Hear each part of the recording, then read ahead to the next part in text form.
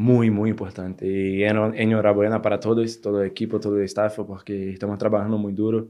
Tres partidos en una semana no, no es fácil. Y una, una vez más, enhorabuena para todos. Claro, quanto mais vitória, melhor. E nós outros estamos trabalhando para sair sempre com a vitória, nos dedicamos o máximo. Eu creio que esse parão e esse, tra esse trabalho forte em Múrcia e na cidade deportiva está vindo os resultados. E espero que nós outros continuemos com esta gana de sempre ganhar. E porque espanhol se vive assim, eu, eu já sinto isso, então queremos ganhar e vamos trabalhar sempre para, para que os resultados sejam positivos. Sí, porque como empezamos, no empezamos como queríamos, pero así es la vida, así es el fútbol. Y cada día estamos demostrando con muchas ganas que queremos mejorar y yo creo que estamos mejorando.